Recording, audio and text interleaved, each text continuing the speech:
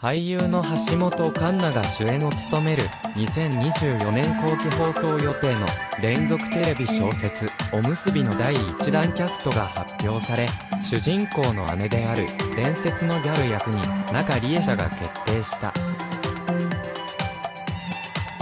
本作はどんな困難も明るくたくましく乗り越えるをモットーとする平成時代のギャルが人々の健康を支える栄養士となり、現代人が抱える問題を、食の知識とコミュ力で解決しながら、目には見えない大切なもの、縁、人、時代を次々と結んでいく、平成青春グラフィティ。